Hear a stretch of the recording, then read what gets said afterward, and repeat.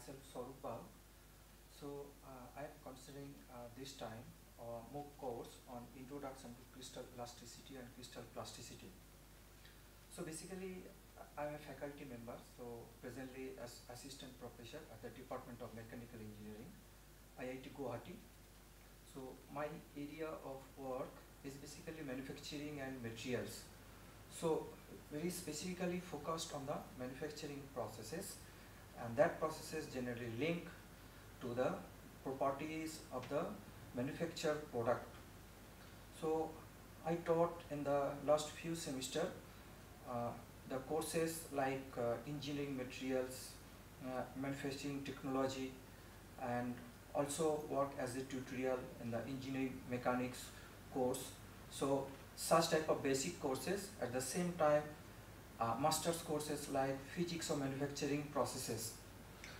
So my area of uh, research work is basically the focused on that uh, welding and joining technologies and different mathematical approach linking to the different scales of analysis to produce the practically multi-scale approach and it's very specific to the manufacturing processes. So uh, these courses like introduction to crystal elasticity and crystal plasticity is a part one a part of the course that currently I am involved in the this specific research area.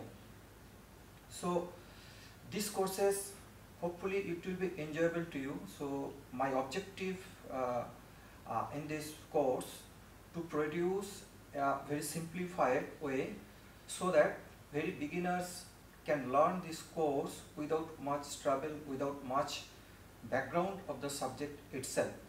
So focus of this course is specifically the elasticity and plasticity part for single crystal structure as well as polycrystalline structure and of course it is very specific to the metals and alloy.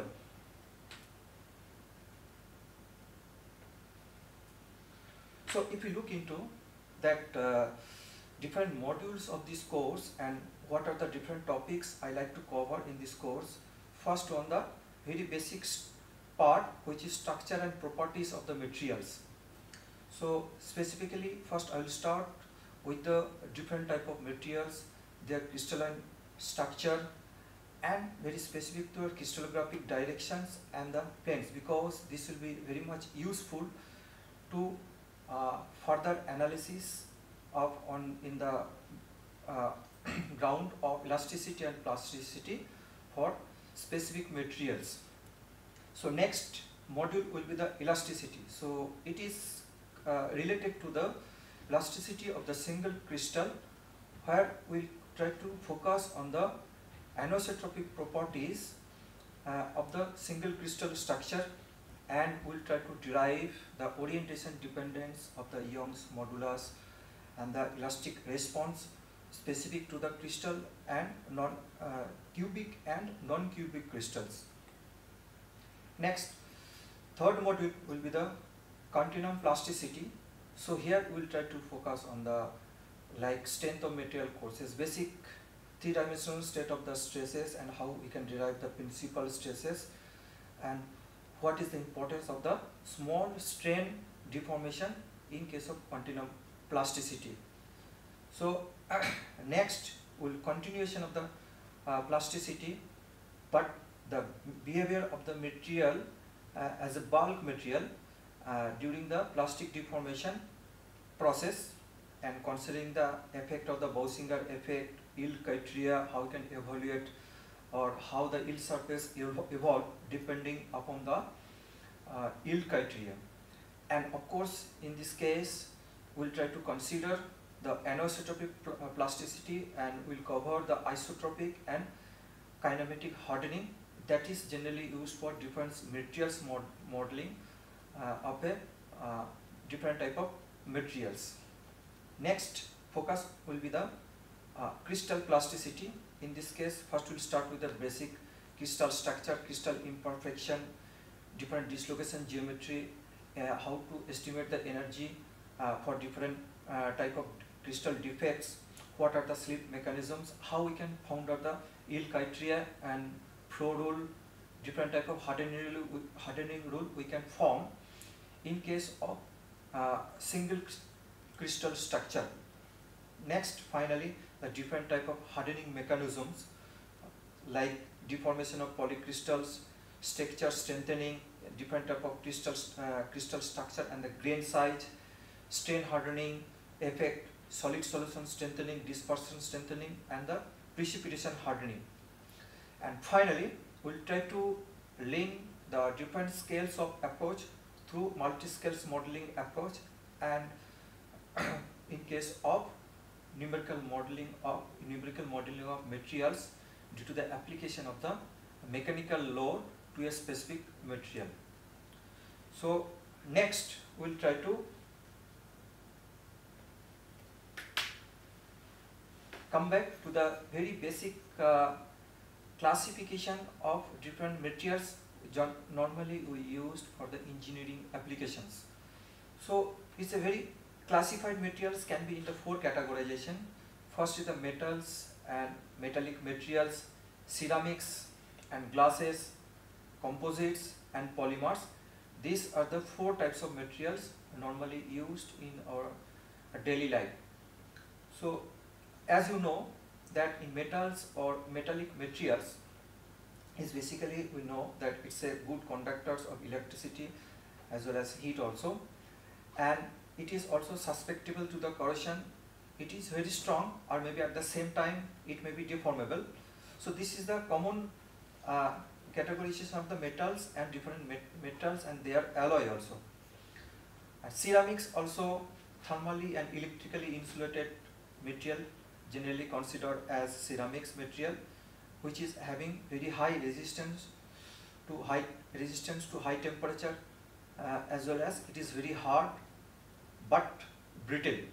So several applications of the ceramic materials we generally find out uh, which is mainly consist of the uh, oxides, nitrides or carbides uh, and is a mixing form of the metals and non-metals like aluminum oxide, silicon carbide, silicon uh, oxides and bricks and refractories can also be considered as uh, ceramic materials.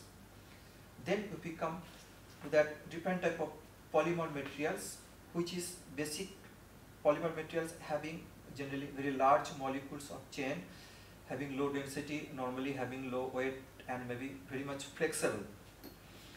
So polymer is generally categorization as plastic and rubber materials and these organic materials consist of carbon and hydrogen forming different chains of molecules as well as other non-metallic materials can be involved to the form of the polymers. Now we come to that composites. Composites actually consist of more than one type of material but it is designed uh, to display a combination of two different type of materials but it is completely different from the uh, oxides like aluminum oxide and silicon carbide. So basic objective of using the composites is to uh, retain the use of the properties of both the materials. The examples of composites is like concrete, plywood and fiberglass. So nowadays it's a very much we found lot of applications of the composites uh, materials and the in the different manufacturing sectors.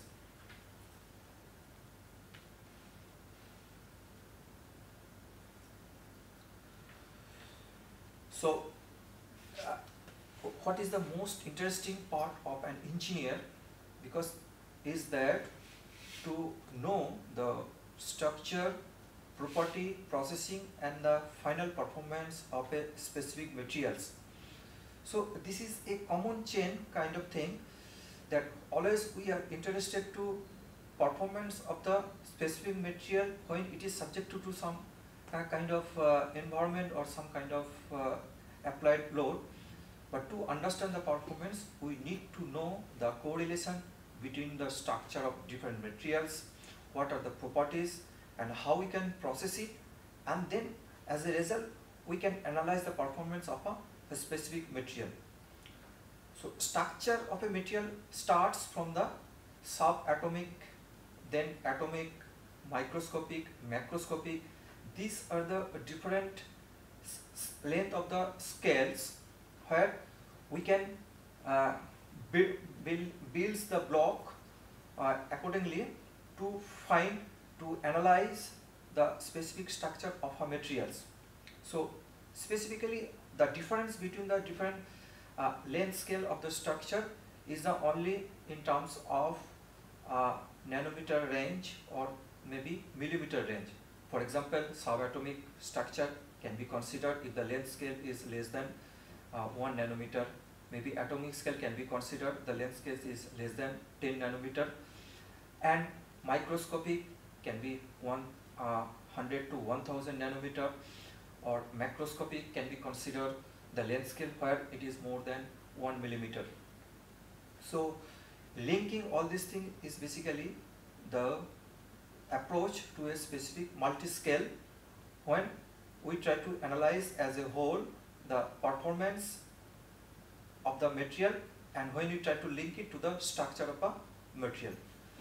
So now next to the uh, structure is the property of a material. So maybe different type of material properties uh, we can observe that mechanical, electrical, thermal, magnetic, optical that may have some practical importance to know. Next is the processing of the materials.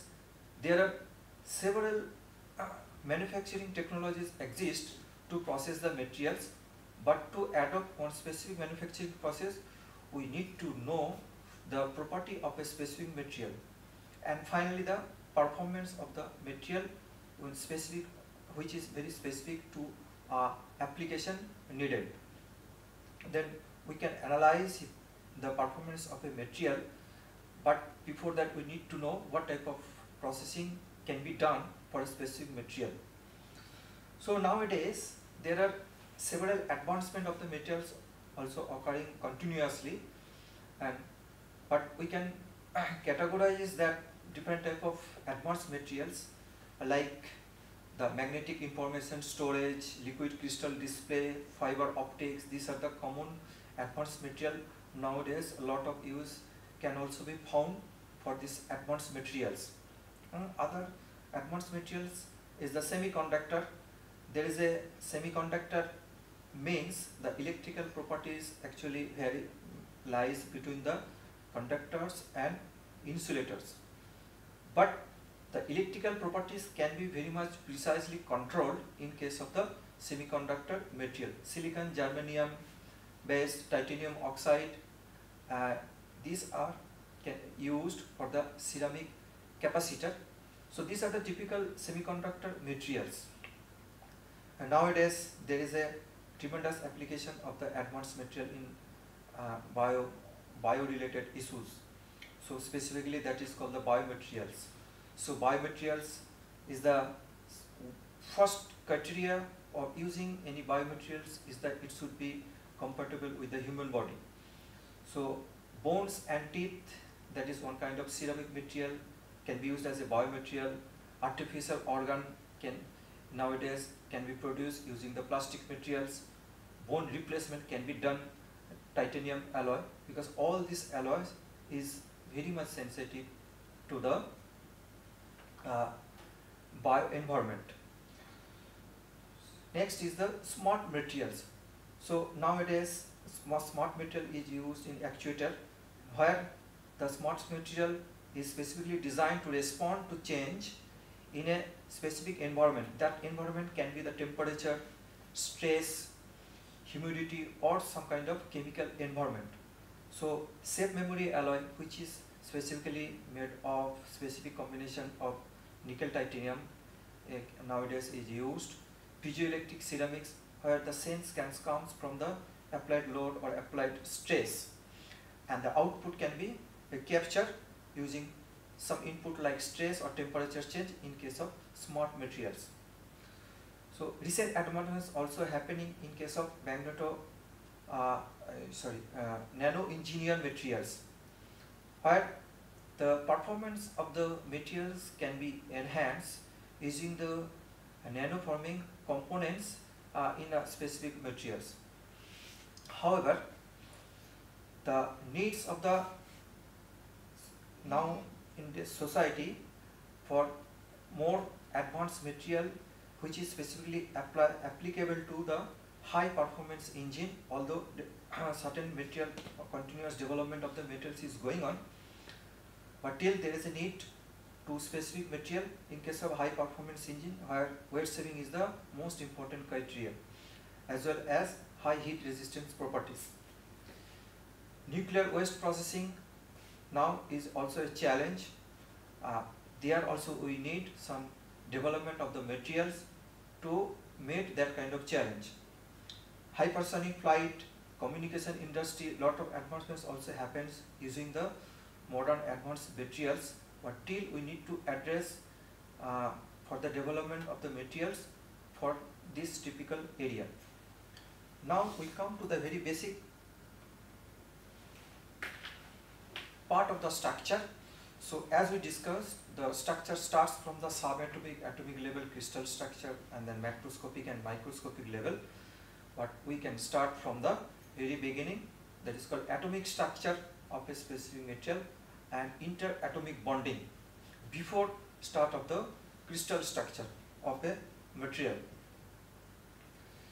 Now it's a well-known fact that atoms consist of the very small nucleus and within the nucleus protons and neutrons exist but outer cell there is the existence of the electron. This is the typical structure of the atoms but the properties actually depends on the electronic configuration and the energy state of the state level of the electron for a specific material.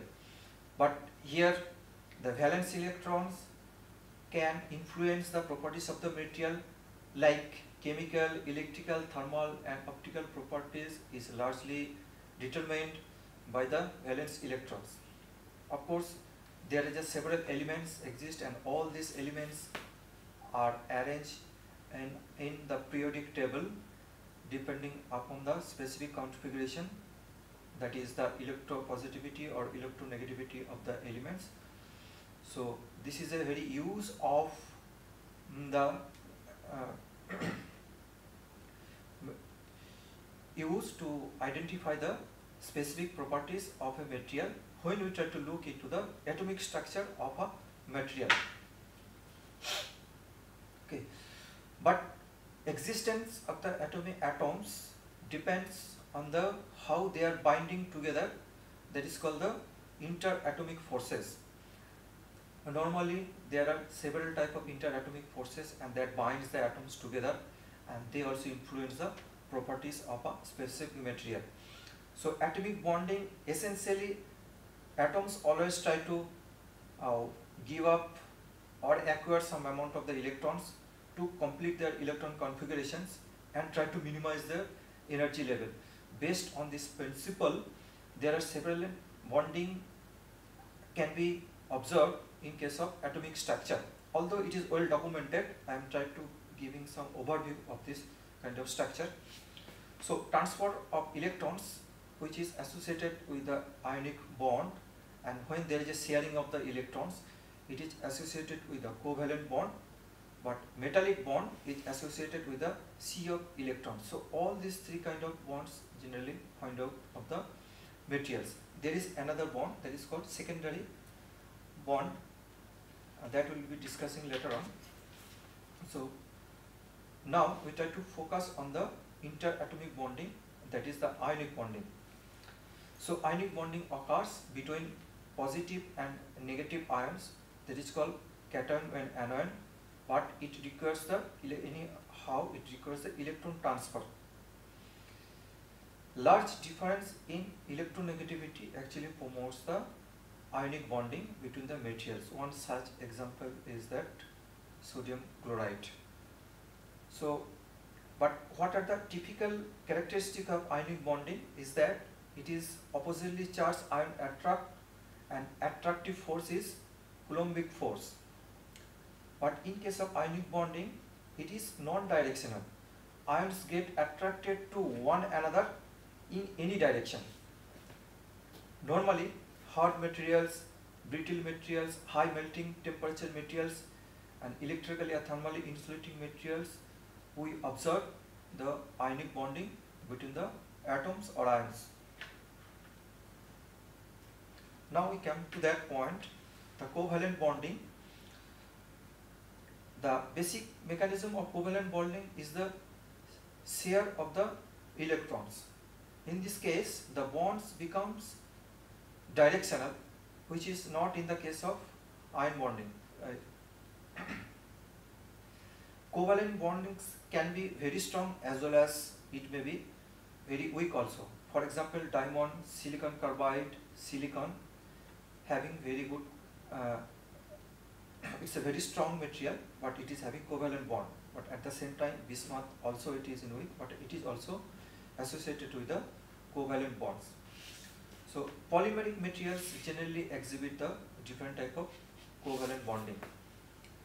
Metallic bonding, as I told, it is associated with the sea of electrons and the having more electropositive atoms that donate their valence electrons to form sea of electrons surrounding the atom. So in this case, non-valence and the atomic nuclei actually form the ion cores and valence electrons belong to no one particular atom but drift throughout the entire metal. So primary bond for metals and their alloy is generally follow the metallic bonding. Apart from the primary bonds, there is also secondary bonding which is also called van der Waals bonds. When different group of atoms have a non-symmetrical electrical charge, they actually uh, they actually bond by the electrostatic attractions and this arises actually from the interaction between the dipoles. normally van der Waals bonds are very weak as compared to the other primary bonds.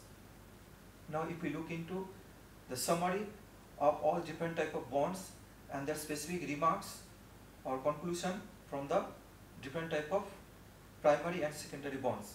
So ionic bond, it is the bond energy roughly between the 150 to 370 kilojoule per mole but physical behavior we observe in case of ionic bonding typically hard and brittle, high melting point, good thermal and electrical conductor.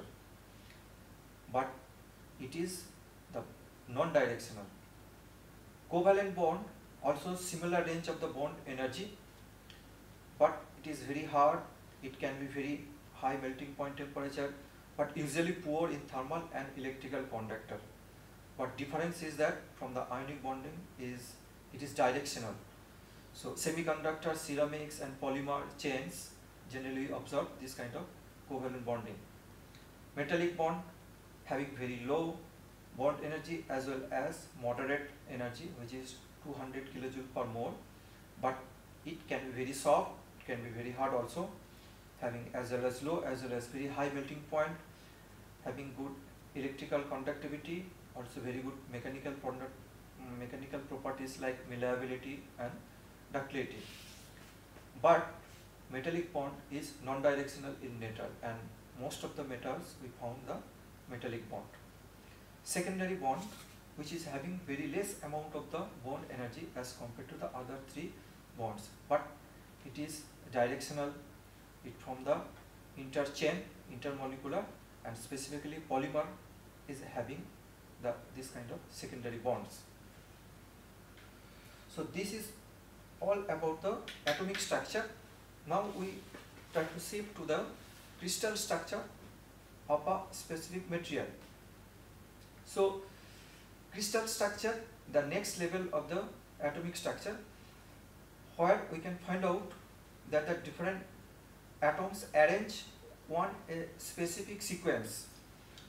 When the regular re repetitive arrangement of atoms or ions actually exist over a long range which is typically more than 100 nanometer then it forms the crystalline structure. Non-crystalline structure the difference is that arrangement of the atoms holds for a short range. Of course the long range and short range it's a uh, scale specific. Long range we can consider which is a length of the scale is above 100 nanometer and that is called that actually forms the crystalline structure and if it, the scale is less than uh, less than even typically less than 100 nanometer then it generally holds for a short range of uh, non-crystalline solids. For example glass is the non-crystalline solid. Now single crystal consists of one large crystal that is follow some specific arrangement of the atoms. And polycrystalline material which is having so many crystal but within which having variant orientation. And within that it forms one specific grains. Nowadays we also observe the liquid crystal as well. But liquid crystal is a specific polymeric materials having a special type of order and but it behaves like a amorphous material in one state, specifically in the liquid state. But some polymer molecules undergone crystalline structure in a small zone with some external electrical field or temperature change. So this principle is applied in the liquid crystal display ILCD technology. But when you try to analyze the crystal structure of a solid material, we assume the shape of the atom as a spherical. So that is called typically hard sphere model. So based on the spherical structure of, of an atom, we try to analyze the crystal structure of specific material. So it starts with the very basic things that is called the lattice. Lattice are the specified points in a three-dimensional space where it follows some identical arrangement of the atoms and if you see that each point is considered as a, lattice point.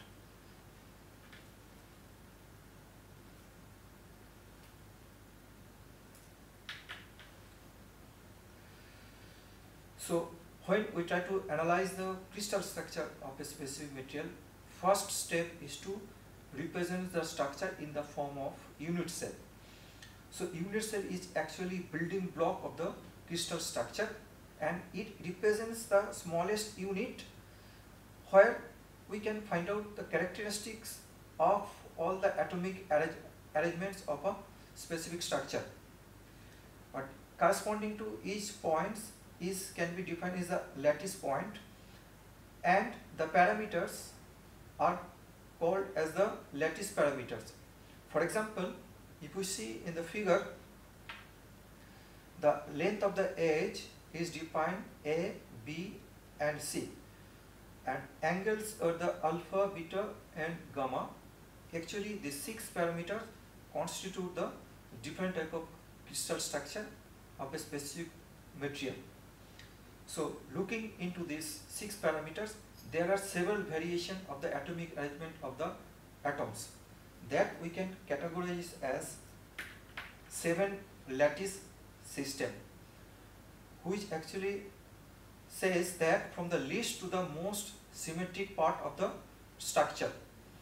And with the four seven lattice system we can constitute the 14 numbers of Bravais lattice.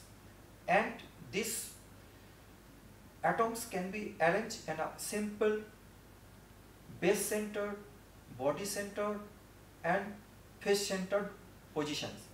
Let us look into what are the different base seven lattice systems and corresponding the type of the lattice structure. First is the triclinic. So in triclinic structure, if we look into that, uh, here the dimensions A, B and C they are not equal and alpha, beta and gamma these are the not as 90 degree. And this is also this is can be called as a simple structure. Next if we look into that monoclinic structure. In this structure if we see here the simple structure as well as base centered structure. In simple structure the one of the angle is not equal to 90 degree but other two angles are 90 degree and here all the edge lengths are not equal with each other. In base centered structure if we look here all the three angles are not equal and edge lengths are also not equal.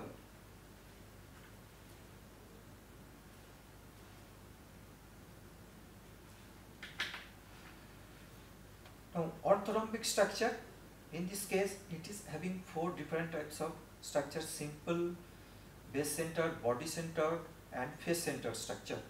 So here the typical characteristic is that all the edge lengths are not equal but the angles alpha beta and gamma all are 90 degree. So this constitutes four different types of orthorhombic crystal structures. Now rhombohedral structure.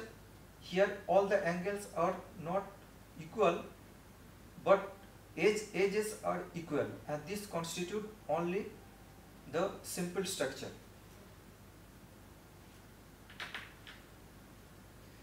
Tetragonal structure is the where two edges are equal but the not the third edges are not equal to others.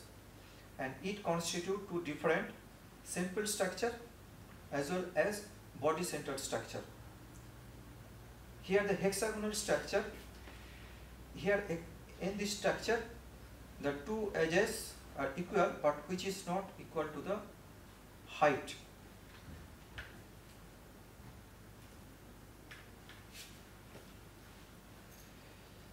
In cubic structure we found out that simple structure body center structure and face centered structure. Here all the angles are equal to 90 degree as well all the edges are equal.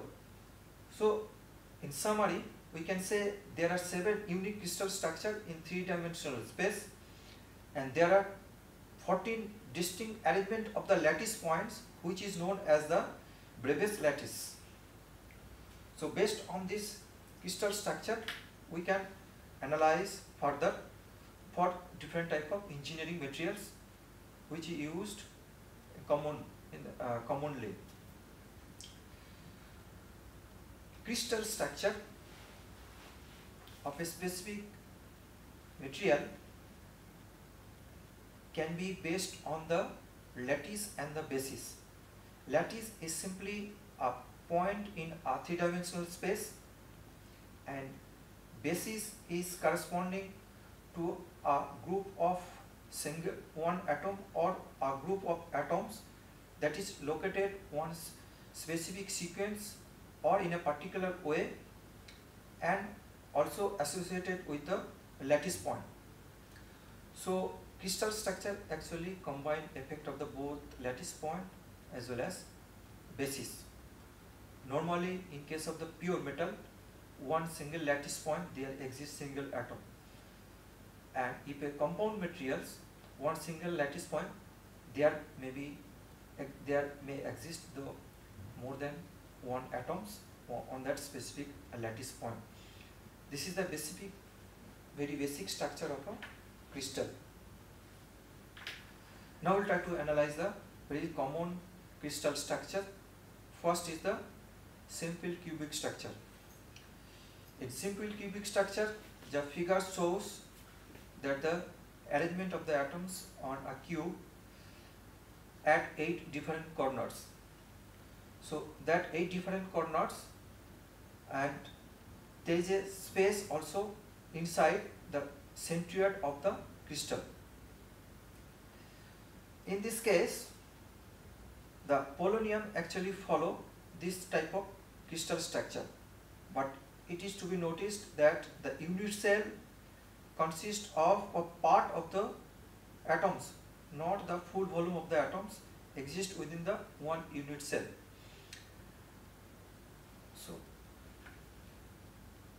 so now we look into the body centered cubic structure that is called BCC structure. In BCC structure, there exist 8 atoms at the corner. At the same time, one atom exists at the center of the cube within the body, I within the body itself. So in this case, the iron, titanium, tungsten, molybdenum, chromium, they actually follow this type of structure. Face-centered structure that is called FCC structure apart from the 8 corner atoms there six faces. On the six faces, there exists six atoms also. Iron, aluminium, nickel, copper, silver, these type of materials actually follow the FCC structure. So it is to be noticed that the iron also having BCC structure as well as FCC structure also. So that we'll discuss later on.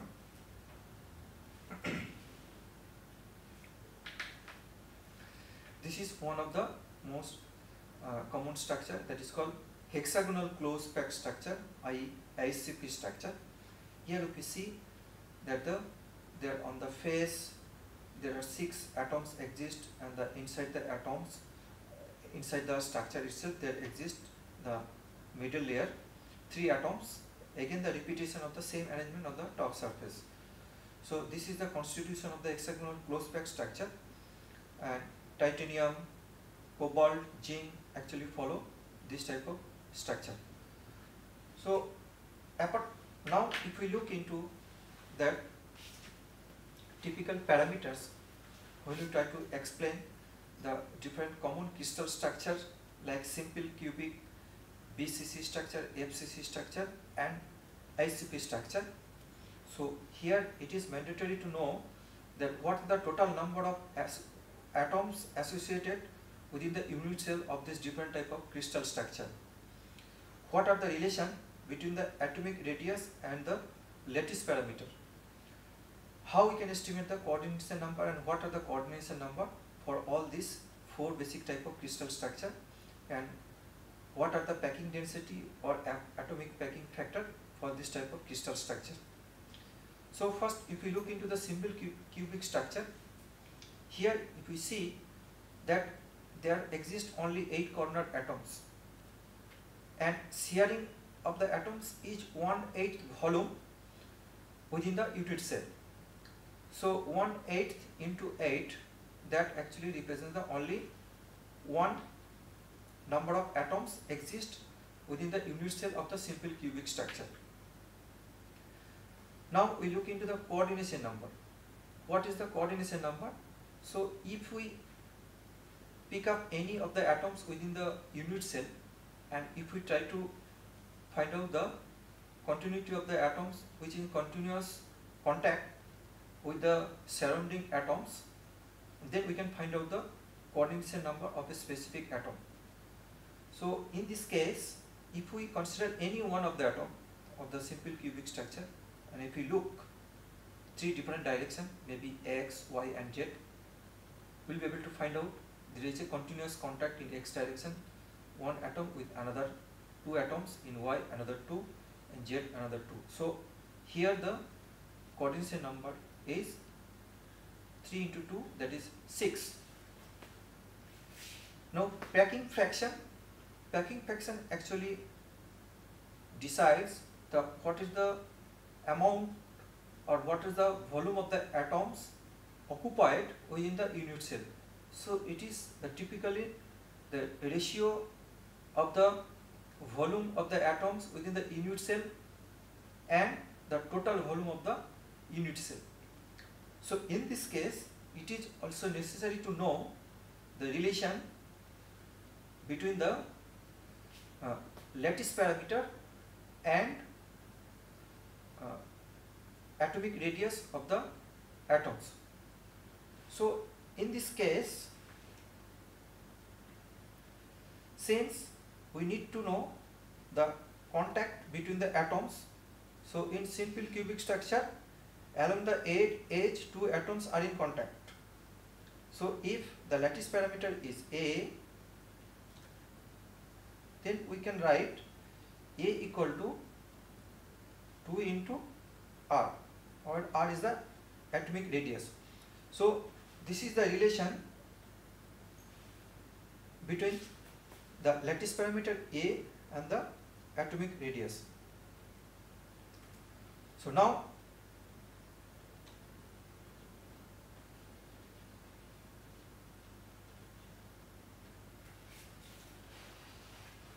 if we look into the BCC structure and if you try to find out what is the coordination number and what is the total number of atoms in BCC unit cell. Here if you see that there are 8 cornered atoms and one body atom. So 8 cornered atoms actually share the 1 8 of the volume and the body centered atoms fully exist within the unit cell. So then here total number of atoms equal to 2 in this case. Now if we look into that coordination number in this case if we consider the body centered atoms so it is very clearly associated with the 8 cornered atoms so that the coordination number is 8 in this case but what may be the relation between the lattice parameter and the atomic radius in this case. So we need to know the atomic arrangement of this specific crystal structure. Then we can easily find out this correlation. Let us look into this structure. Here the atoms cornered atoms is not are in continuous contact between the along the edges.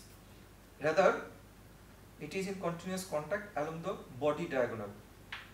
So looking into that the body diagonal if the lattice parameter is a so body diagonal actually represents root 3 a. So that is kind of continuous contact is like that. So in this case we can say that root 3 a equal to r plus twice r plus r. So that is 4r so this is the relation between the lattice parameter and the atomic radius. So this can be easily derived if the arrangement of the atoms is known or for a specific crystal structure now packing fraction in this case we can easily find out what is the volume of the atoms within the unit cell divided by the volume of the total volume of the unit cell. In that way we can find out the packing fraction is 68% in this case. Now if we look into that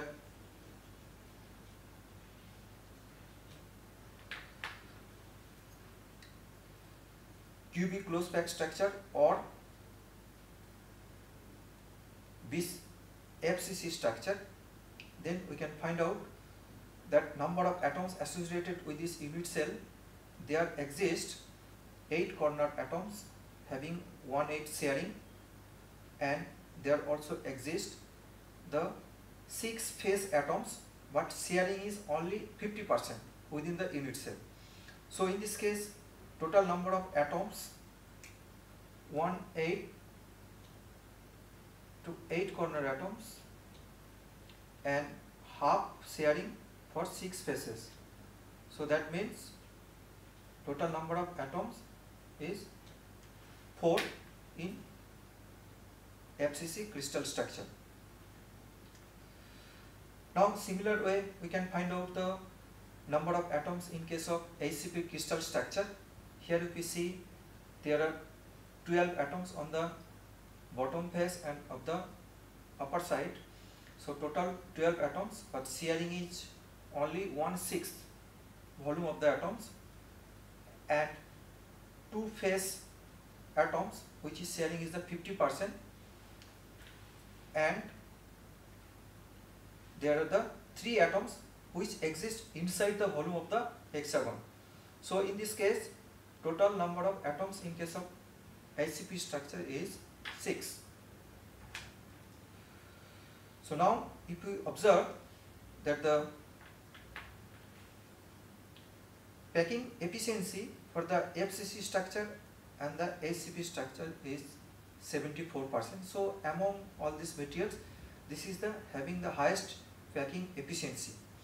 That means the atoms are most densely packed in case of FCC HCP structure as compared to the BCC structure and simple cubic structure. So these all the analysis can be useful further to solve any kind of other different type of problems.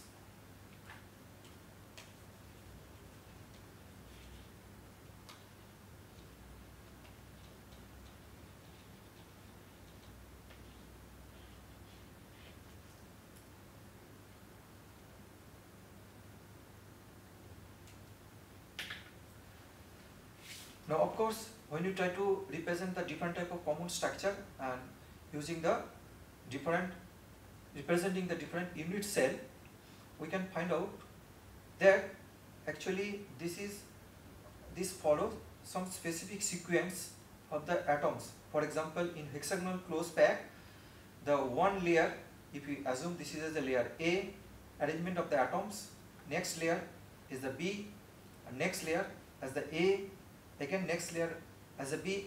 So there is alternate arrangement of the atoms we generally observe in the hexagonal close pack structure. But in case of FCC structure, it is the atomic arrangement also not the alternate sequence of different layer or maybe we can say this is the different stacking sequence. Here the stacking sequence actually follow in this way the A one specific arrangement of the atoms second layer it is a B if we specify the then third layer it is C. Again the repetition of the same A B C. So basically the atomic arrangement uh, uh, in FCC structure follows three different A B C layers but it is not the case of the HCP structure. HCP structure it follows in that way A B A B in that sequence. Of course when you try to say the FCC structure follow A, B, C in this sequence but that sequence follow normal to a specific plane in case of FCC structure that we'll discuss later on.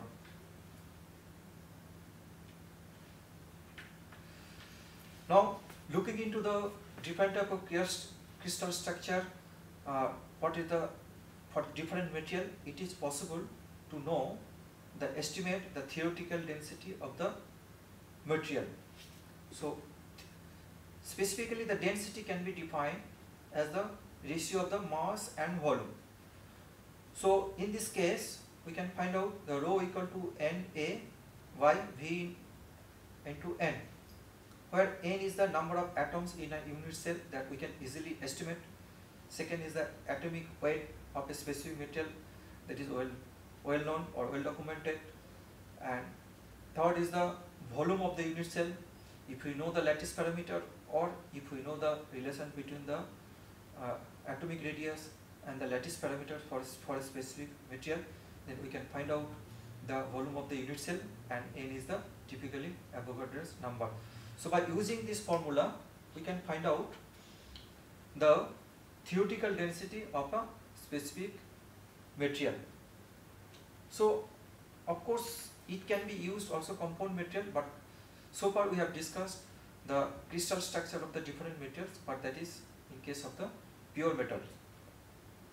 Now other mathematical calculation can also be done by looking into the crystal structure that is called planar densities. Sometimes it is important to know this parameter.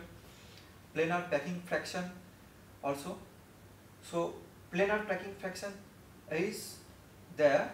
What are the fraction occupied by the atoms over a plane, not the over entire volume of the unit cell.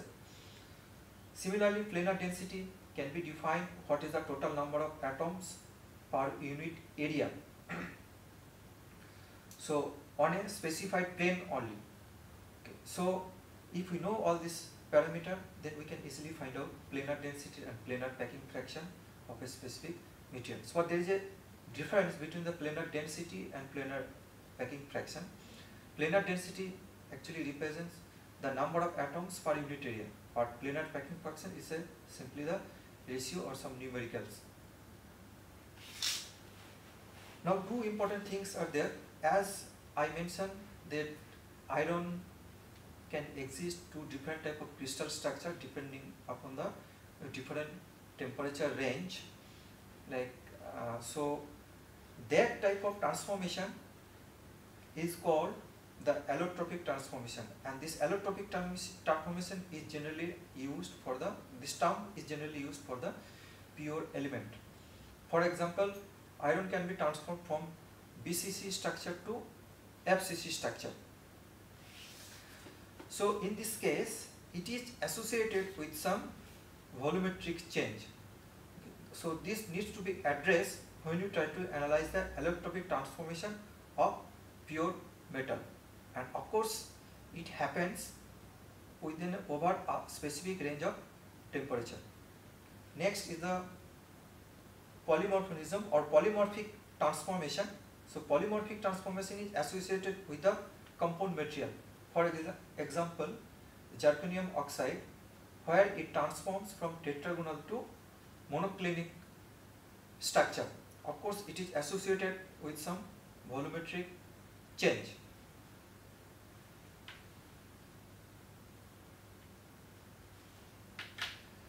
Now, this is the basic crystal structure of a very simple materials uh, specifically for the pure metals we have analyzed. Now, we will try to focus on the crystallographic direction and crystallographic planes and how we can decide the crystallographic direction.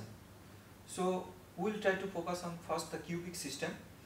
In this case, direction can be found out upon the projection of a vector after choosing the origin of a specific crystal structure or fixing the different axes. Conventionally, a right hand coordinate system is generally followed, but the origin can be chosen arbitrarily. But we choose all this case to look into the interest of the easiest solution of the problem. Let us look into the example then it may be very much understood. Procedure for the writing directions in Miller indices. Specifically when you try to represent the direction in a specific crystal structure that is called the Miller indices and we represent in terms of the Miller index in this case. First we try to determine the coordinates of the two different points and then subtract the coordinates of the second point from those of the first and then clear the fraction to give the lowest integer values for all the coordinates and we represent this the direction in case of specific crystal. Let us look into the several examples for the Miller indices of a crystallographic direction. First, first point is that index are written in the square bracket but without commas. That example is given like this, the square bracket and H, K, L in this form. Next point is that negative values are written within a bar over the integer. But for example, if h less than 0, that means if it is negative, then the direction can be represented is like this.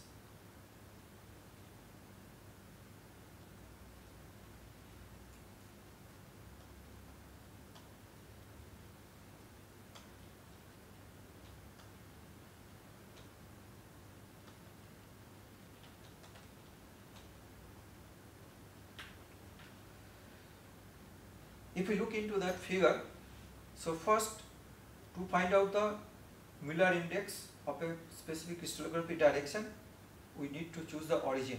Suppose this point is chosen as origin and then following the right handed coordinate system we choose the axis ax axis y and axis z. Now let us look into how we represents the direction OA we look into that direction OA is corresponding to this 1 0 0 so it is like that the coordinate of A is 1 0 0 and final coordinate of the origin simply 0 0 0 so resultant is the 1 0 0. But when you try to represent in terms of Miller index, we represent in the third bracket. So H first component, K 0, L 0 like that. So 1 0 0 actually represents the x along OA within the unit cell when we, when we have specified the origin and the three different axes. Now how you can represent the OB?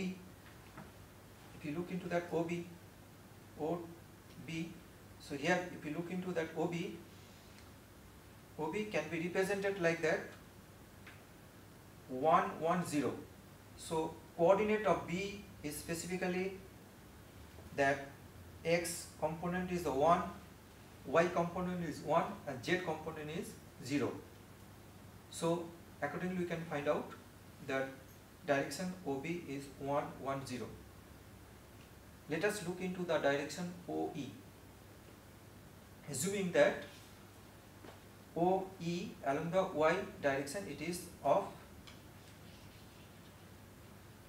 unit length.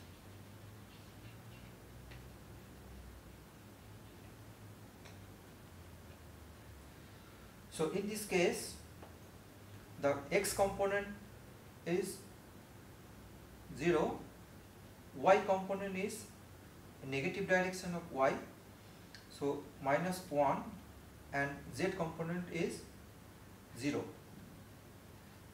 Now coordinate of origin 0, 0, 0.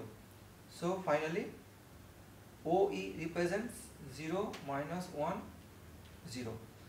So when you try to represent in terms of the Miller index then it will be third bracket 0, 1, 0 but negative integer value can be represented over a bar like this.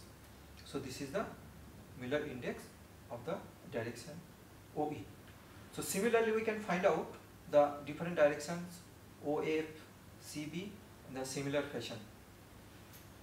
Now equivalent direction. So since directions are vectors, so a direction and its negative are not identical. Same time, our direction and its multiple are identical. Specifically 100 or 200 indicates the similar direction. Certain group of directions are equivalent in a cubic system. If we change the axis coordinate or if we exchange, if we transform the axis x, y, z, so it depends probably the similar direction can be represented as the form of as a group like that group can be written in this way. For example, 100 in the group, it actually represents the axis x along x along y as well as along z also. So this is a bulk can be represented in the equivalent form or as a family form or as a group.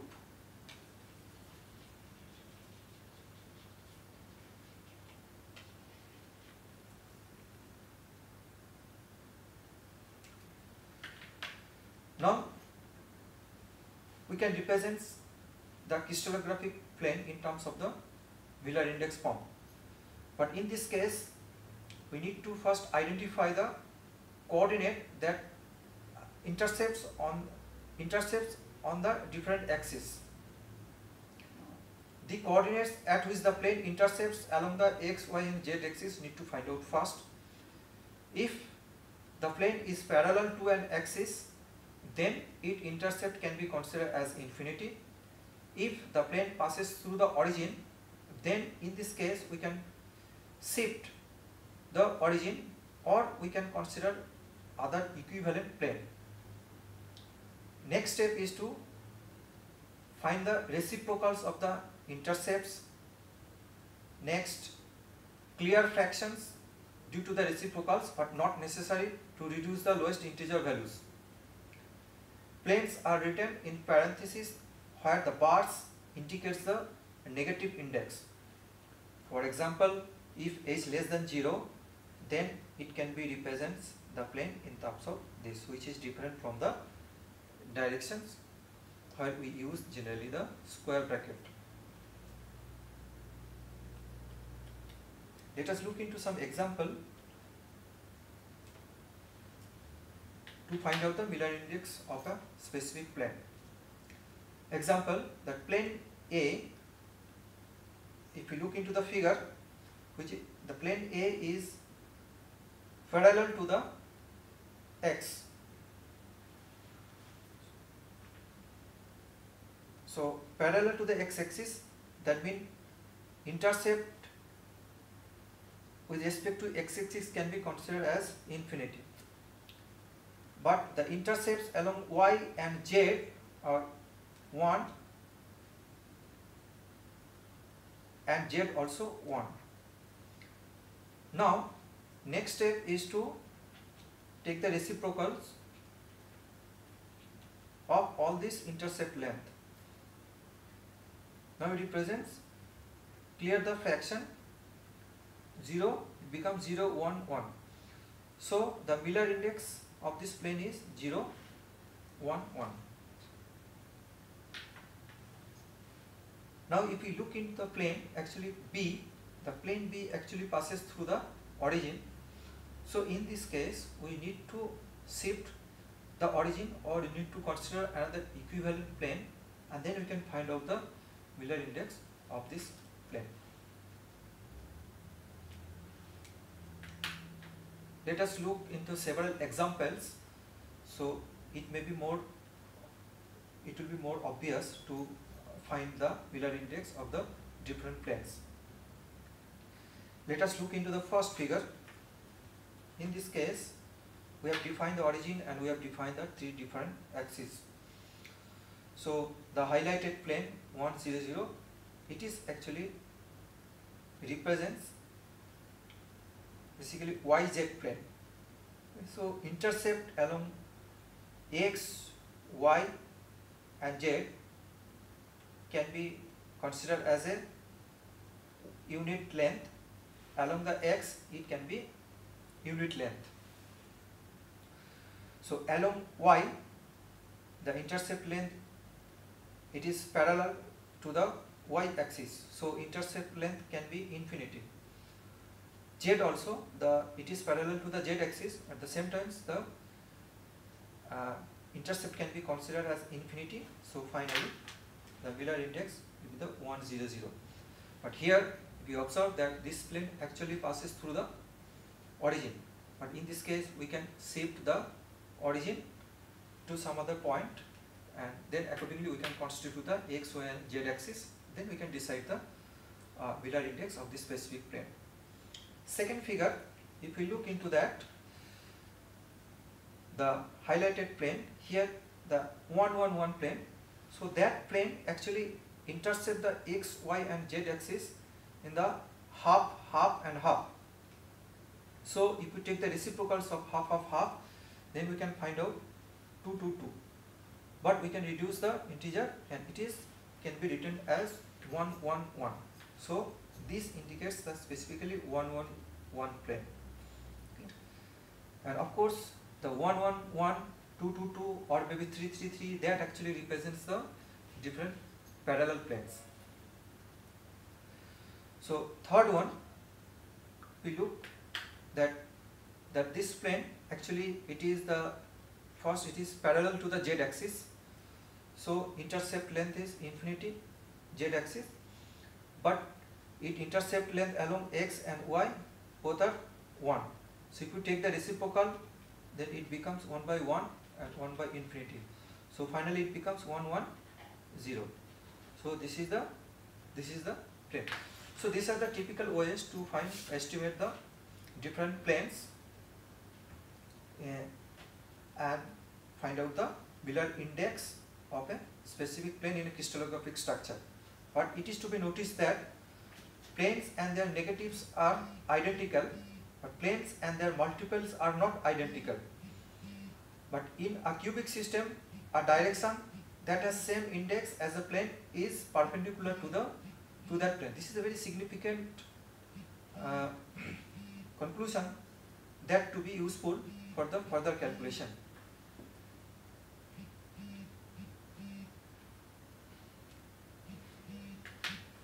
let us look into the other examples the different planes and 0, 1, 0, 0, 1, 1, 0, 0, 0, 1, 0 and actually these different planes which can be formed in the equivalent form and this is equivalent due to the symmetry and there exists such three different planes simply the changing of the position of one.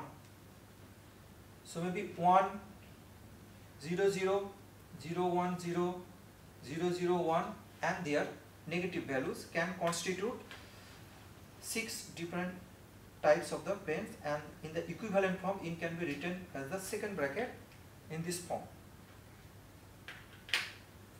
Similarly, the 101 plane by changing the position of 110 we can represent the different planes in the six different way and all actually represents the in the equivalent form.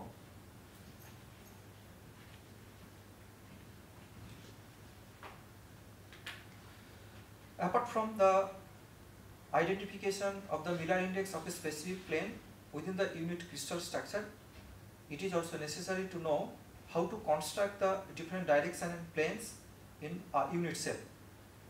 First, it is necessary to know what is the uh, intercepts of a specific plane and then consider, consider the reciprocals of that plane but not necessary for the direction and try to reduce the lowest set of integer in this case and then we can finally plot it. So drawing the different type of planes in a cubic unit cell may be useful. So this can be considered later on as an assignment how to draw the different type of uh, planes and directions in a unit cell.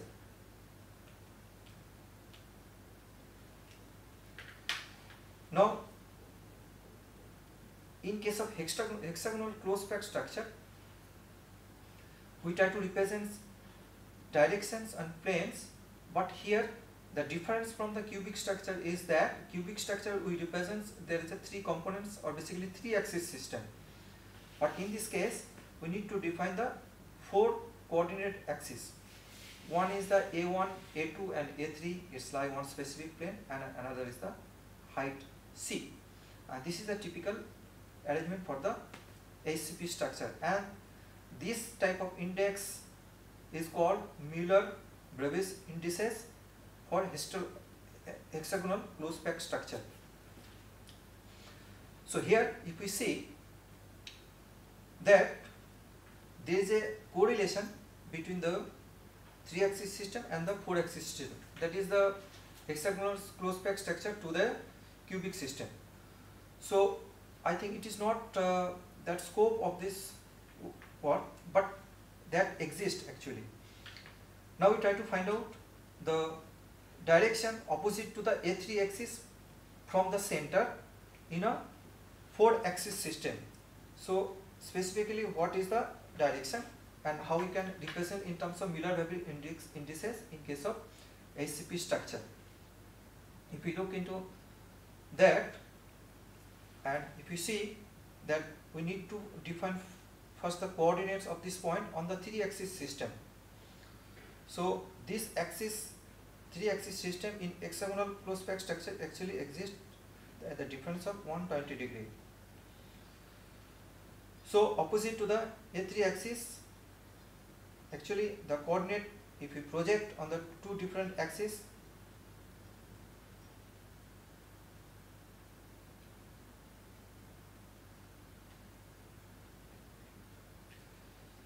Here, if we consider as a total unit of length 2a along the axis, so this length actually represents the unit A, this length actually represents the unit A and A1, A along the A2 it is A but along the A3 it is minus twice A and along the Z the coordinate is 0. So when you try to represent this in terms of the Miller indices in the four axis system that is 1 1 2 bar 0 and that can be using the correlation that can be converted to the equivalent direction in case of three axis system or cubic system.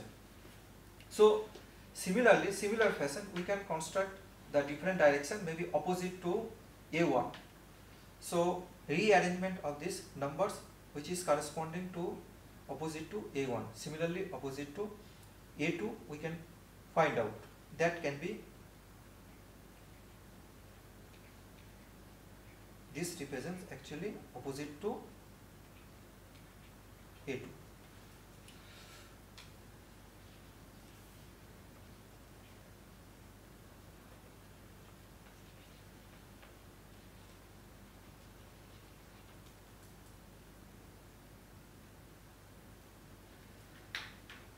Similar way we can find out, we can define the different planes in case of uh, HCP structure.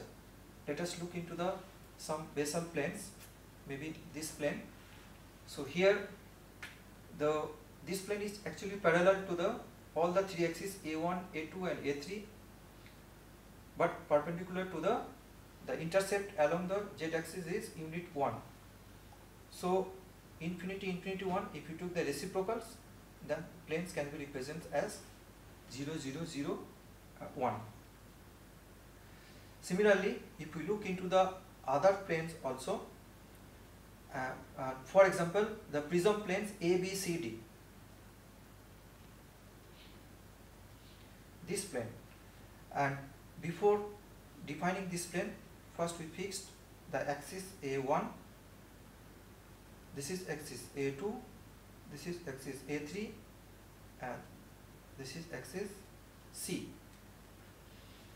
So in this case if we find out the this plane intersecting along the A1 axis this is 1 along A2 axis it is parallel. Along A2 axis it is parallel. So intercept length can be considered as infinity and along A3 it is intersecting A3 axis but in negative direction. So that is considered as minus 1. At the same time this plane is parallel to the C axis. So the intercept length can be considered as infinity. So in this case if you take the reciprocals of all these things the plane can be represented as 1 0 minus 1 0 or 1 0 1 bar 0 so this is a typical representation of the specific plane in case of hexagonal pack structure.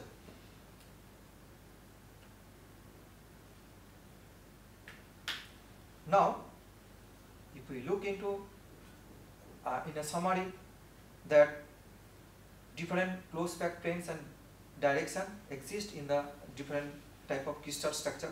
Obviously, we have discussed only the simple cubic, BCC, FCC and HCP structure. So, among this simple cubic structure, the we can observe the different closed pack planes and different closed pack direction. For example, simple cubic structure 1, 0, 0. So, that is the along the edge of a crystal structure that is the closed pack direction. In case of BCC structure 1, 1, 1. So, that means along the body center, body diagonal, that is the closed pack structure in case of BCC. In case of FCC 110, that means it is the along the face diagonal, this is the closed pack structure. And HCP also having 1210 or 1120, these two types of closed pack directions. So that means closed pack direction, the atoms are in continuous contact. Now if we find the what are the closed packed plane for this type of simple cubic uh, simple cubic structure and hexagonal structure we found the simple cubic and BCC structure not having any closed packed planes because not any plane the all atoms are in continuous contact. But in case of FCC the closed packed plane is 1 1 1 so basically uh, that 1 1 plane all the atoms exist in such a way they are in continuous contact with each other. So that's why this plane is considered as a closed packed plane in case of HCP structure as well we can find out the 001 or 0002 these are the basically the parallel planes. So these are the either base plane this represents the base planes. That base planes all the atoms are in continuous contact. So that planes can be considered as a close packed planes. Now this is all about the different type of structure, their directions. Now sometimes it is important to know the very specific elementary thing, for example isotropic and anisotropic behavior which may be useful when you try to analyze the anisotropic um, behavior in case of elasticity and plastic, plasticity of a specific crystal structure. So aluminium although it is FCC structure but the material their arrangement of the atoms may not be the same in 111 or 100 direction. So that actually brings some anisotropic behavior. Interplanar spacing is the another elementary thing which is related to the crystal structure that distance between two parallel planes having the same Miller index or belongs to the same family. So D is the interplanar spacing, HKL represents the Miller index of a specific uh, crystal structure and A represents the lattice parameter. Apart from that, we need to know the repeat distance. So distance between the two lattice point along any direction that follow the similar sequence of atoms. Actually all these elementary uh, terms can be useful in uh, later discussions on when you try to discuss in the imperfection or the defects in the crystal structure. So if we look into the comparative analysis of different crystal structure, we can see that FCC and SCP, uh, there is a almost uh, specific plane of FCC and SCP, they are also having the similar kind of arrangement. For example, 1 1 plane of FCC structure and 0001 plane of SCP structure, actually same arrangement of the crystal generally observed. But 3D structure is not may not be the identical, so it can follow the different stacking sequence. Okay, that we have already discussed in certain situation. And if we look into that uh, uh, crystal system and the uh, the lattice D, we try to estimate the D for the different type of crystal structure. We need to know the Miller indices of a specific plane, which is different uh, from the uh, cubic, tetragonal and orthorhombic cases.